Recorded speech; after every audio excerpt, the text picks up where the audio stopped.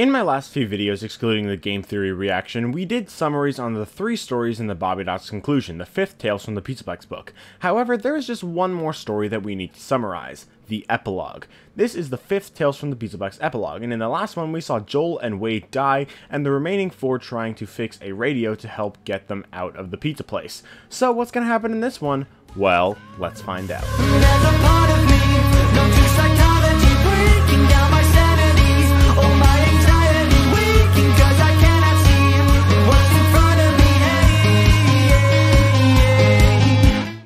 Lucia and Kelly had finally figured out how to fix the radio. They got it working, but all they could hear from the other end was static.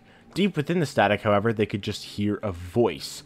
The words were too difficult to make out, but it was a voice. Kelly adjusted the antenna to try to get a better signal, and they could vaguely make out the words, We are in pizzeria. The radio began getting a bit clearer, and the person on the other end said that they were trapped in the old pizzeria in a room behind the stage. Lucy asked who they were, how they got there, and where exactly the room was, but the voice didn't answer. Instead, they only said the word, help. Someone seemed to be down there with them. Kelly insisted that they need to, needed to find them and help them, and Adrian said that they needed to find Joel and Wade too. But because the voice was so distorted, it was possible that they were talking to Joel and Wade right now. Who knows, besides us. So they argued a bit about who it could have been until they decided that they should just go check it out. They made it to the backstage area unscathed, and the Mimic Endo didn't seem to be nearby.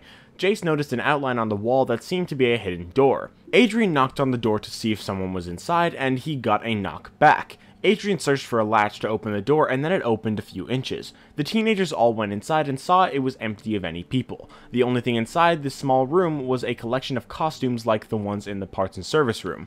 Adrian asked if anyone was in here, but instead of an answer, the mimic in a monkey costume jumped out, shutting off the lights and making its signature hiss and rasp sounds. Lucia grabbed Adrian and pulled him back just in time to avoid the mimic lunging at Adrian's arm. Switching to Adrian's perspective, the mimic had actually touched his arm a bit, and only when they barricaded themselves in the office did they realize that Adrian's arm was bleeding pretty bad. The mimic seemed to have disappeared, luckily it wasn't all that fast. Lucia and Kelly patched up his arm with the first aid kit, and then Adrian said that they needed to find Joel and Wade. He knew everyone, including Adrian himself, could see their corpses in their minds, but they knew that they had to find them.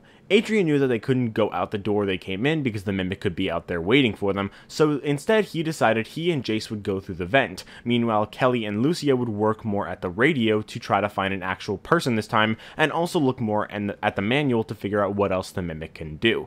We switch over to Jace's perspective, who doesn't like that they're doing this, but he was doing it anyway. The vents were pretty big and relatively clean, but they were also warping, and being a bit unstable. The vents were pretty big and relatively clean, but they were also warping, being a bit unstable. They crawled through the ducts, but stopped when they saw something moving through the vent cover ahead of them. It was the Mimic. It seemed to look into the vent, but ignored the vent and just passed by.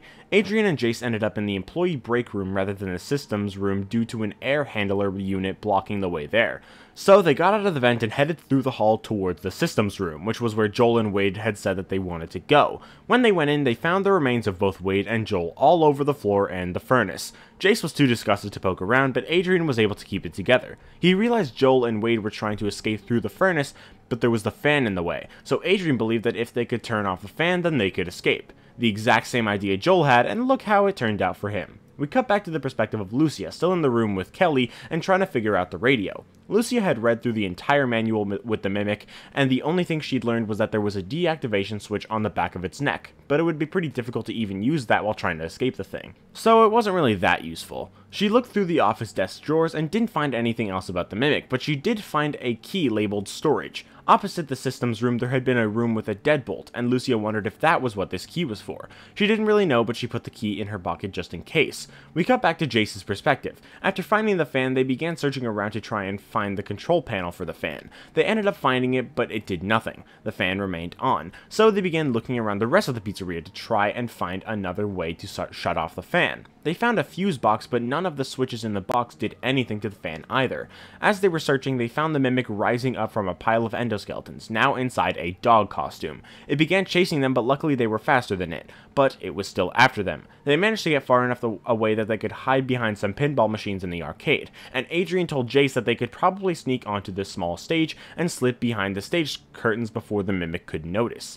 They were able to do so, and the Mimic seemed to go in the direction of the lobby, as the dining room lights were back on while the lobby looked dark. Adrian and Jace then ran down the hall as fast as they could to the systems room. We cut back to Adrian's perspective as he's closing the door to the systems room, but first checks if the Mimic is following them, but he can't tell. However, the dining room lights were dark again, so the Mimic was most likely coming after them. From the small stage, Adrian had grabbed a metal leg, and he brought it to the systems room to try and shove it into the fan to try and stop it. Adrian didn't think he'd be able to fit through it if it were to work, but Jace would be able to. Adrian hopped into the furnace and grabbed the metal leg, but a rasp and a hiss came from outside the systems room door, and the lights began to flicker. There wasn't enough time for Jace to get into the furnace, so Adrian told him to hide, and he did. Adrian tried to stop the fan with the endoskeleton leg, but it didn't work. The fan was too powerful. It was sparking and it wouldn't stop. Adrian fell down the shaft, shooting out through the furnace door and straight into the arms of the Mimic, who had been waiting outside the furnace the whole time.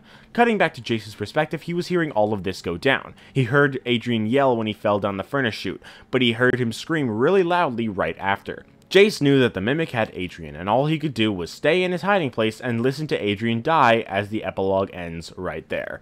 Personally, I enjoyed this epilogue, but I, I still think that the first, third, and fourth were all better. But this one was still good. But I want to know your thoughts. What do you think about this epilogue? Did you enjoy it? Let me know in the comments, and if you did enjoy this video, make sure to leave a like and subscribe if you want to. I wish I could say I was done with the book videos until Nexie comes out, but I still have to read the second Fazbear Frights graphic novel. A video on that should be out within the next few days, but I'm going to end the video there, and I'll see you all in the next video. Bye, guys!